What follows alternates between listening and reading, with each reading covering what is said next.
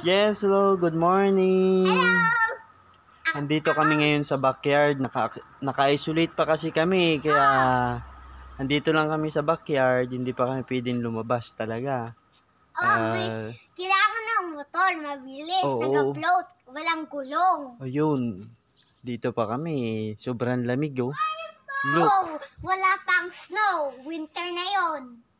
sobrang lamig dito. Oh, tingnan niyo yung mga puno. Ayan, yung mga puno dito, walang mga dahon. Oh, kasi yung winter na yun, malamig. tingnan- May bat- tingnan niyo sa kabila, Oo. malamig ng malamig.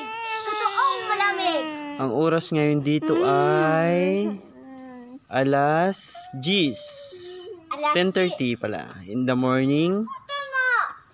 So, andito kami sa backyard.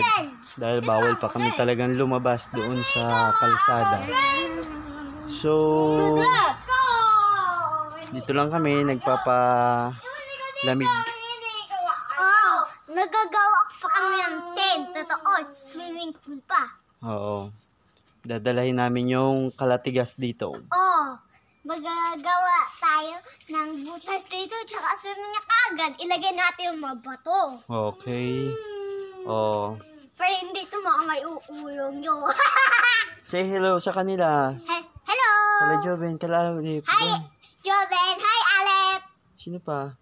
Hi, Asher. Batiin mo sila Tito Ye doon. Uh, ano yung sasabihin ko?